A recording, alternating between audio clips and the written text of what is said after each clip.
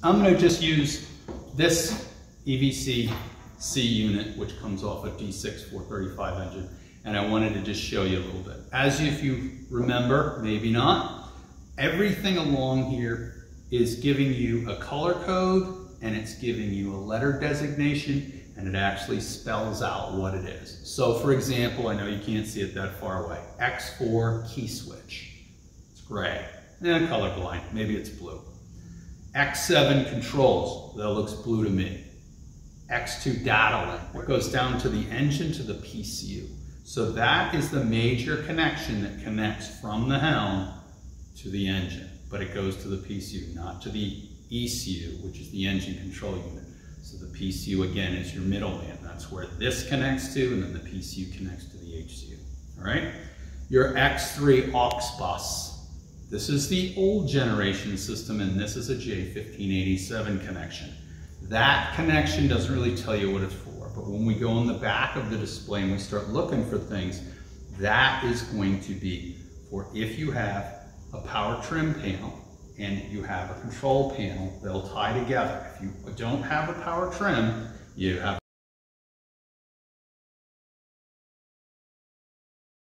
inboard engine or if you have IPS, you won't have a power trim panel, so you'll just have the control panel. The control panel is where the aux bus comes in. That's what that's connected to. So that's the only one that really isn't totally explanatory. It doesn't make a lot of sense, all right? Your multi-link is for your displays. That's for, think of multi-link like multiple devices, including NMEA, other things like that. So your, any interface between electronics, navigation units, that's also tied into that multi-link harness, okay? And then if you have IPS, you have steering. Or if you have joystick stern drive, you have electronic steering, and that's what plugs in here. If you have two engines, with electronic steering and I have to use this one and this one.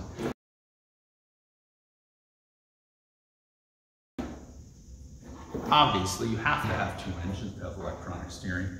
You're going to have two cables that are coming from the steering helm, and it doesn't matter which side you plug them in. They'll go into either side. When you calibrate controls, it'll know which side's which on the steering wheel. It's more of a redundant system in the steering so that each HCU and each drive line the steering system make the drives move in the same uh, manner. So the input from the steering wheel goes to both HCUs down to the PCUs, splits off, goes to the steering units, and it will make the drives track together. You get into joystick, that's where the joystick overrides, and that's where, when you move the joystick, that's where the drives can move independently, the engines can shift independently, the engines can throttle independently. That's the marvel of the software. Um, let's plug it in real quick just to go over the back side of it. I'm just going to pull a couple of these cables up so you can see them. Right? And your X4 key plugs right into the X4 connector.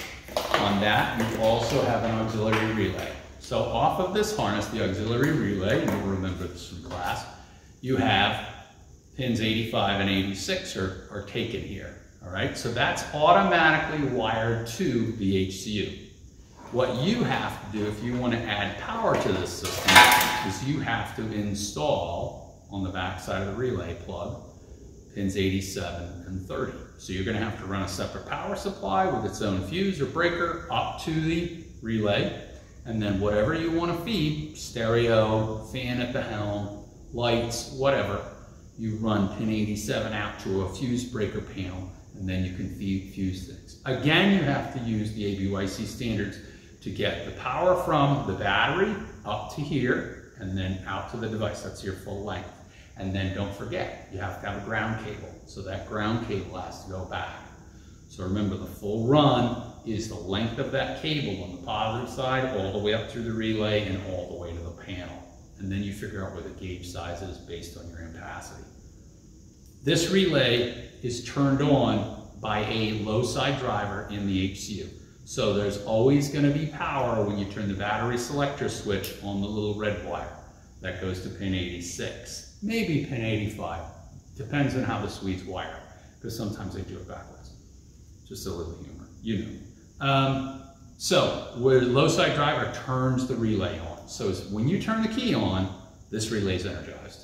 and then everything on the dashboard or at the helm station that you want would be energized. Your controls is blue, so that plugs into a connector on the back of here, all right? You have the other control, which is multi-link, and this is the one that's complicated. So I'm gonna pull these two out so you can see this. And this is where it gets the most confusing. Everything else is plug and play.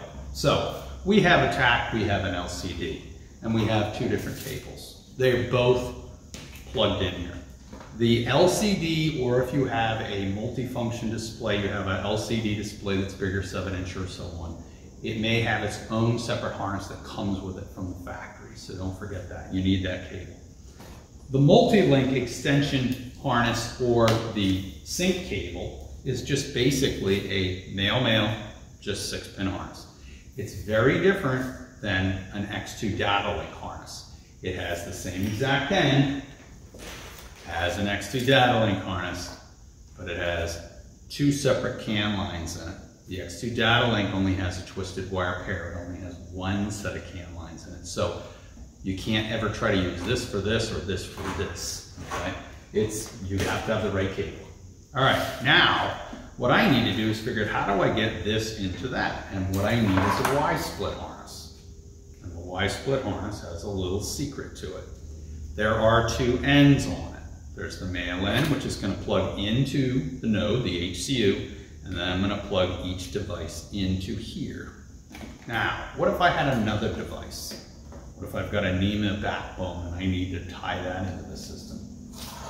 I need another breakout harness or Y-split harness. So these are called multi-link breakout Y-split harnesses, all right? And the reason they're called the breakout is because you break out to another device.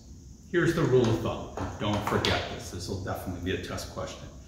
Most of the time that there are problems in an old system like this, and somebody's been behind the dash and done some wiring and unplugged things and plugged it back in, it's either something's left unplugged or something's plugged in the wrong place. And sometimes that's not easy to see, but I'll show you, it's real easy to figure out.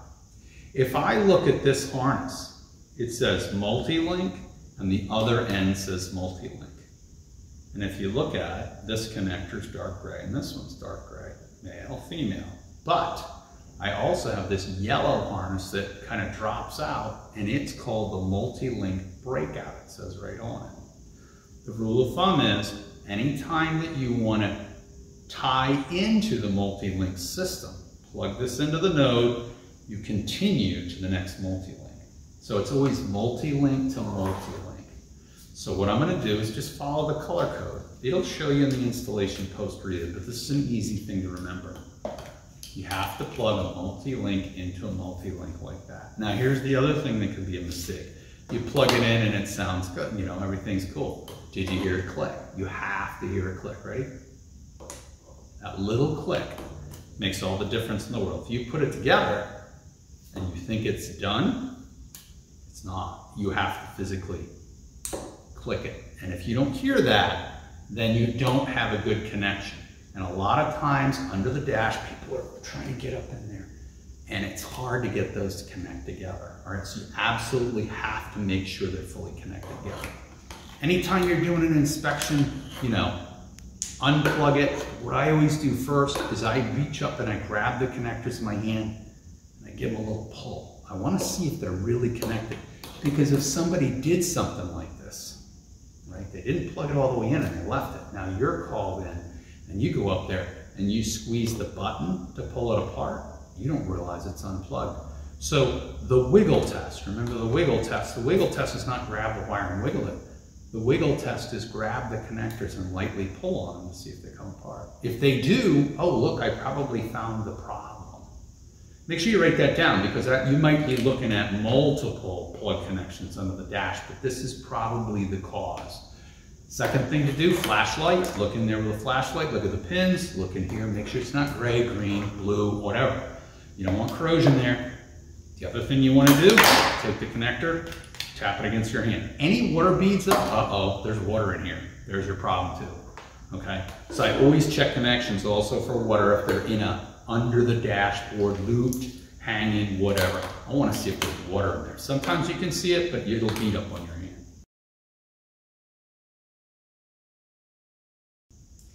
Back to this. What if you make this mistake? What if accidentally you plug this into the node and then somebody accidentally did this? Okay, notice what happened? We went from a dark gray to a light gray to a dark gray to a dark gray. And this is dark gray and that's light gray. It doesn't even look right, but it happens all the time. Okay?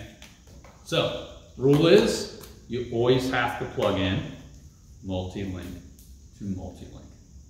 Just like that. Okay? Everything else has to be plugged in. Something has to be plugged into this, something has to be plugged into this, and something has to be plugged into this. You can't leave any of these open. If you leave them open, it breaks the chain of the CAN wires, and the whole system just kind of goes to a shutdown system. The screens will light up, but there'll be no functionality, okay? So real quick, look under the dash, behind the dash, and see if anything's not plugged in, okay? So that's the rule of thumb on that, not too complicated. Everything else, just plug and play on it, okay? So that's not too hard. It's, it's pretty straightforward.